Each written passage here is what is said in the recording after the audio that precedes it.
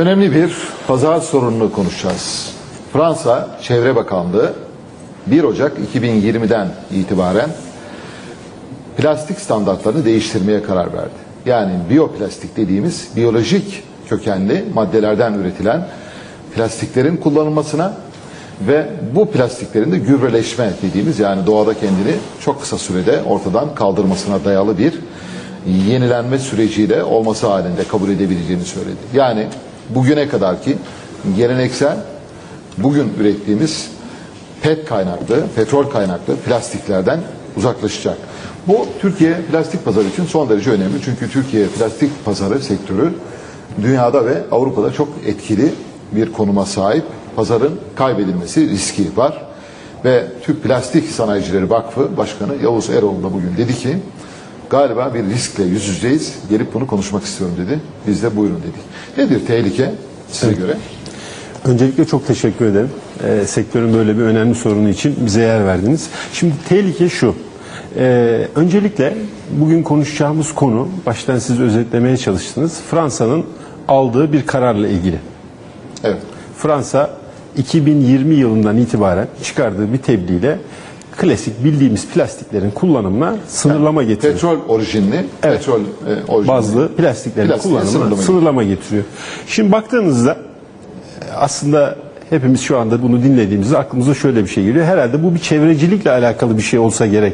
Çevreyi düşünerek olsa bir şey olsa gerek diye düşünüyoruz. Ancak işin ilginç yanı biz baktığımızda sektör olarak hiç böyle bir şey değil. Neden?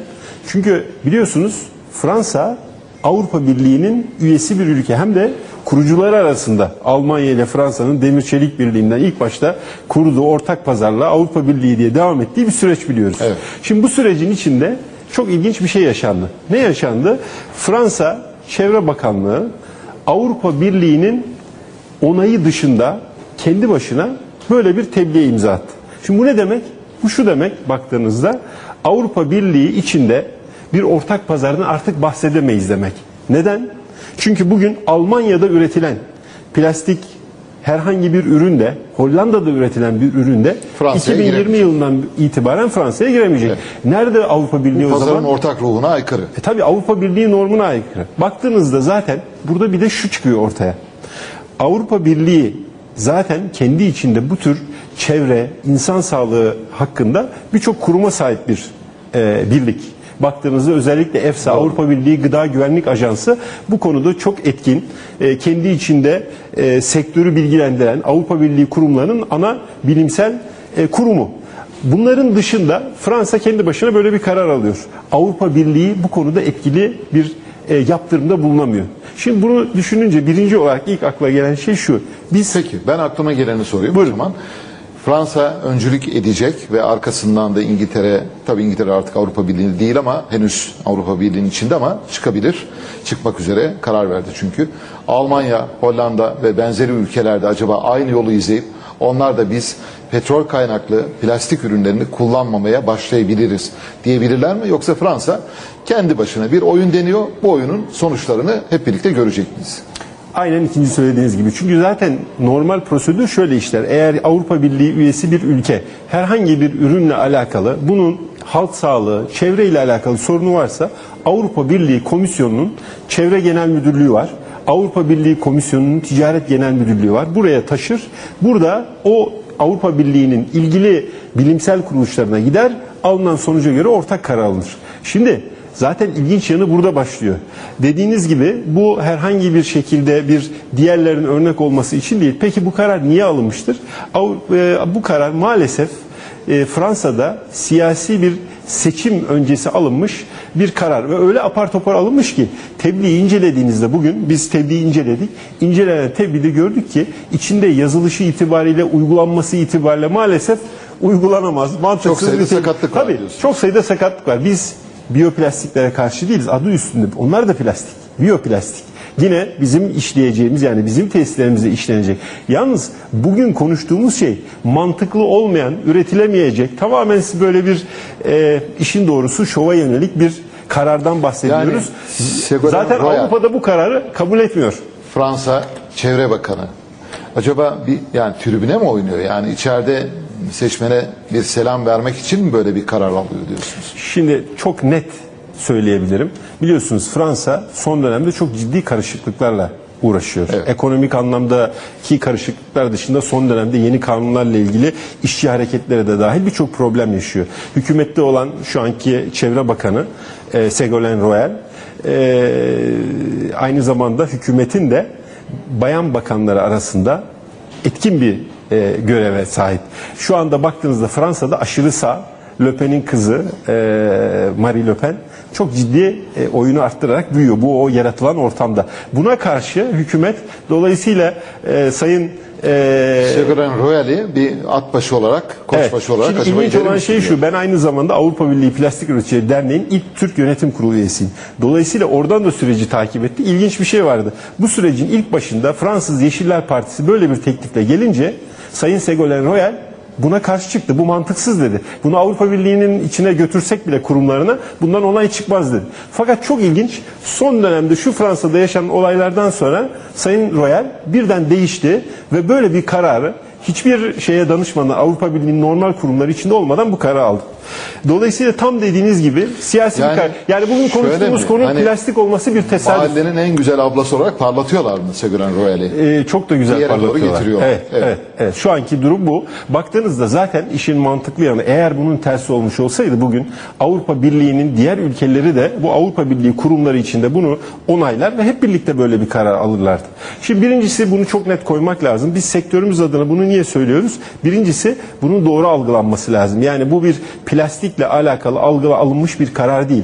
Bu tamamen siyaseten Fransa'nın Avrupa Birliği dışında aldığı bir karar. İşin üzücü yanı bakın biz Avrupa Birliği'nin gümrük Siz diyorsunuz ki biz biyoplastiğe karşı değiliz. tabii niye karşı Bu olalım? üretimi yapıyoruz, yapabiliriz, yapmaya devam edebiliriz ama konvansiyonel, geleneksel petrol kaynaklı plastikleri kullanmaya da dünya devam ediyor. Dolayısıyla Fransa'nın böyle aradan çıkıp ben oyunu değiştiriyorum demesi tamamen içe dönük bir e, politika bütününün parçası. Tabii. Bir de tabii bunun ekonomik yanı da var. Onu da söylemek lazım. Biliyorsunuz son dönemde artık ülkelerin ekonomik silahlarından biri de bu tarife dışı engeller. Şu anda baktığınızda Fransa'nın bu plastik mamul üretiminde, plastikten sofra mutfak eşyası dediğimiz bardak, tabak, çatal, kaşık, bıçak üretiminde çok başarılı bir ülke değil. Bu konuda Almanya'yı, İspanya'yı, İtalya'yı, Türkiye iyi ülkeler. Baktığınızda dolayısıyla Fransa kendi zayıf olduğu alan. E, Bu zayıf olmasını da hatta rakamlarla verelim. 500 milyon dolar civarında her sene bu Avrupa'daki ürünlerde ithalat var. sayalım isterseniz değil mi? Birinci sırada İspanya. Birinci İspanya plastik bu tür malzemeleri üreten ülkeler arasında İki İspanya Almanya. birinci, iki Almanya, Üç İtalya. Üç İtalya ve Türkiye birlikte diyebiliriz. Biz Şimdi evet.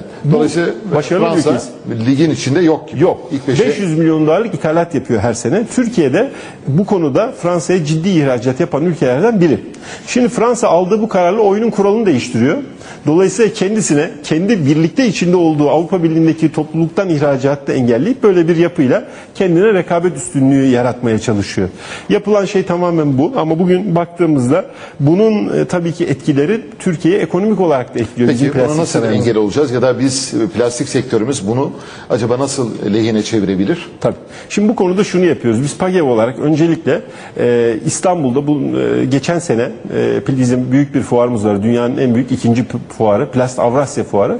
Plast Avrasya Fuarı sırasında Avrupa'daki bütün plastik derneklerini topladık. İstanbul Plastik Zirvesi diye bir zirve gerçekleştirdik. Türkiye artık Avrupa'da ikinci büyük ihracatçı olduğu için plastikte ikinci büyük üretici daha doğrusu bu hakkına sahip. Yani koltuklar yeniden düzenlenmeli dedik ve gerçekten de şu anda Türkiye Avrupa Birliği içinde Avrupa Birliği üyesi olmasa da plastik sektörü olarak karar mekanizmasında etkili bir ülke. Bu çerçevede ne yapıyoruz? Öncelikle İstanbul Plastik Zirvesi Deklarasyonu çerçevesinde tüm Avrupa'daki plastik dernekleriyle birlikte bu konuda Avrupa Komisyonu'nun Ticaret Genel Müdürlüğü'ne başvuru yaptık. Dedi ki arkadaş bu Avrupa Birliği dediğimiz şey eğer bir birlikse şu Fransa'ya hakim olun siz kendi başına. Sizin dışınızda böyle bir şey yapıyor. Bizim Fransa'ya bir şey dememizden çok sizin bir şey demeniz lazım. Dolayısıyla böyle Bu bilimsel bizden olmayan- çok sizin meseleniz. Sizin meseleniz demek. yani sizin bu meselenizi kendi içinizde çözmeniz lazım. Sizin meselenizin yansımaları bizi etkiliyor. Evet. Birincisi bunu söyledik. İkincisi e, yine Avrupa Birliği'nin Çevre Genel Müdürlüğü ile konuştuk. Dedi ki bu konuda sizin bilimsel otoriteniz var. Bunlara karşı bir rapor hazırlayın. Bu raporu da kullanın. Şimdi onlarla ilgili bir çalışma yapılmasını istedik. Tabii bir de Avrupa'daki bu e, meslektaşlarımızla organize ederek hep birlikte bir hareket tarzı belirlemeye çalışıyoruz. Şunu yapmaya çalışıyoruz. Şu anda Fransa'nın aldığı bir karar var. Tamamen otonom, kendi başına Avrupa Birliği kurumlarının dışında bir karar. Bu kararın 2020 yılında uygulanması diye ileriye dönük bir tarih atmışlar. Biz diyoruz ki bu tarihte bu uygulanmasın. Bunu kim yaptırabilir? Bunu ya Fransız halkı yaptırır ya da burada en önemli kurum Avrupa Birliği. Avrupa Birliği'ne hatta bizim Türkiye olarak çok şey söyleme hakkımız var.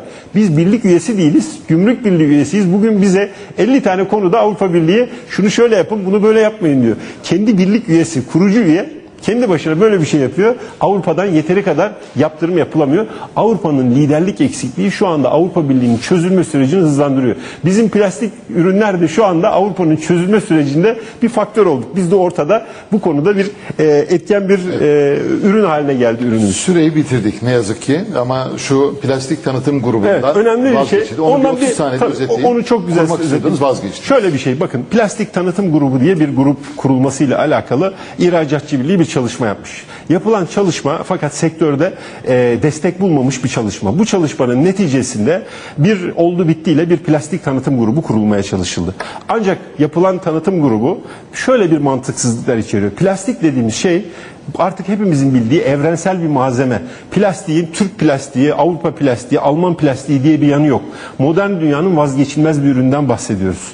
Dolayısıyla biz plastiğin nesini tanıtacağız? Plastik dediğiniz şey o kadar geniş bir şey ki araba tamponu var, efendim e, plastik gıda malzemesi, gıda ambalajı var. Baktığınızda e, öbür tarafta medikal malzeme var. Bunların hepsi de plastik boru var. Her biri birbirinden ayrı bir konu. Artık bu tanıtım grubunun da dolayısıyla mantıksız tanıtım grupları kurmak yerine ihracatçıyı bu tür sorunları destekleyecek yapılar oluşturmamız lazım. Peki ne yapmalıyız? Onun yerine gidip gerçekten e, baktığınızda Avrupa'da bu yapıları oluşturmalıyız. Gidip kendi plastiğin aslında doğru anlattığı zaman kendini verilerini oluşturduğu zaman paraya bu işin böyle ihracatçıdan para kesmeye ihtiyaç yok. Çok özür dileyerek söylüyorum. Cümle. Şurası çok önemli. Bu tanıtım grubu şu demek. Plastik ihracatı yapan Türkiye'deki herkesin aidat ödediği ihracatçı birliği zorunlu aidat ödüyor. Bu aidat minimum iki katına çıktı şu anda. Herkes beyannamelerini kontrol etsin ve iki katından daha fazla da çıkabilir. Güzel yanı Sayın Bakanımız Nihat Zeybekçi ile konuyu konuştuk. Kendisinin ilk tepkisi şu oldu sayın bürokratlar yanında. Plastik tanıtım grubu mu olur arkadaşlar? Dedi ve konunun iptali için gerekli talimatı verdi. Ancak süreç bürokratik olarak yavaş işliyor. Dolayısıyla bizim özellikle bürokrasimizden talebimiz bu vesileyle buradan da duyurmak istiyorum. Bunun bu sürecin ıslanması, hızlanması şu anda sadece 15-20 günde 600 milyon lira kesildi. İhracatçının istihdam yaratmaya o %20 biraz önce haberde verdiğiniz genç istihdamı çalıştıracak, para kazanacak döneminde bu tür şeylerle uğraşmamalıyız. Kesinti yerine ihracatçıya destek olmalıyız. Hep birlikte bunun için çalışmalıyız. Çok teşekkürler Yavuz Eroğlu. Cüneyt e, kulağımda hemen bitirelim diyor ve ana haber bültenimizi burada noktalıyoruz. Hoşçakalın.